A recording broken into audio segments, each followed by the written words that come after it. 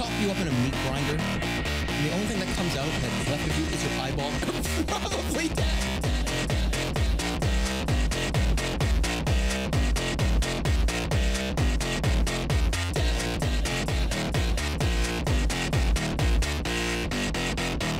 I'm not gonna put you into a meat grinder.